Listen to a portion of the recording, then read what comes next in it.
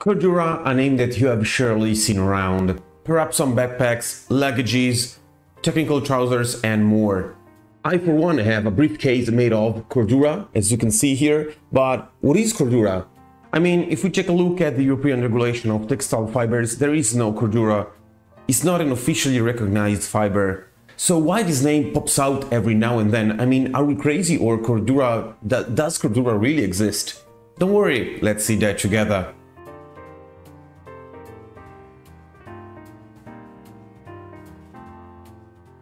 First of all, Cordura is the name of the fiber, patented and invented by DuPont in 1929. Back in the days, Cordura was a type of viscose, but as soon as nylon was invented, Cordura instantly became a type of nylon. Yes, indeed, a type of nylon, also known as polyamide 6 or polyamide 6.6. Cordura patent is currently owned by Invista, an American company that also produces resins and elastan fibers such as Lycra. Cordura is not a fabric, guys. It's a type of fiber which is spun and then woven to create fantastic fibers for technical purposes. There are two types of Cordura, 500D and 1000D.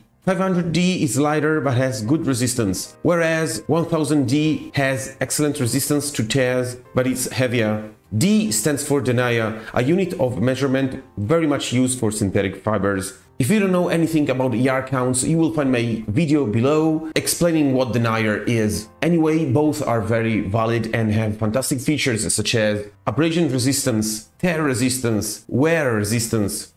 We all know that, especially in sports and trekking, garments have to guarantee comfort, must be strong, elastic and breathable.